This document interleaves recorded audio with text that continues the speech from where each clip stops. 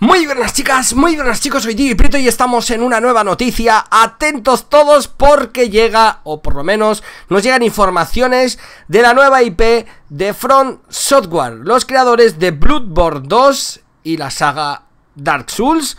Atentos porque eh, sería uno de los bombazos de este 3 Se llamaría Phantom Whale y sería lo nuevo de Front Software. Traería de vuelta la jugabilidad tan popular de Dark Souls, Bloodborne, con una estética azteca o maya. El rumor, la noticia, ha corrido como la pólvora en la página web eh, Lacius Hoods en Reddit, proviene, según sus palabras, de un filtrador riguroso. Este título eh, sería eh, para los desarrolladores japoneses, pues bueno, un bombazo, estarían contratando nuevo personal y no sería ese tan rumoreado Bloodborne 2, que según el creador, el creador de Orion de Bleed Forest estaría en la, feria argelina. Phantom Whale sustituiría las armas y los hechizos de Dark Souls por combate cuerpo a cuerpo, sería personalizable al gusto de los jugadores gracias a distintos sets de movimientos y estilos. De lucha.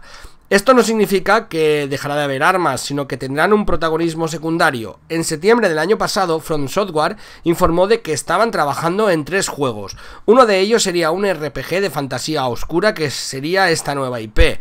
De momento hay que ser cautos, hay que esperar al próximo 13 de junio a partir de las 3 de la madrugada hora española en la conferencia de Sony y estaremos como siempre en directo, así que no os preocupéis que os vamos a informar de todo, vamos a hacer directos pre-3, directos E3 y de todo, así que no os preocupéis. Muchísimas gracias a todos por estar ahí, dejar vuestro like, estoy con más fuerza que nunca, así que este año vamos a estar a tope ahí, así que muchísimas gracias a todos por estar ahí y nos vemos en la siguiente, hasta la próxima, chao.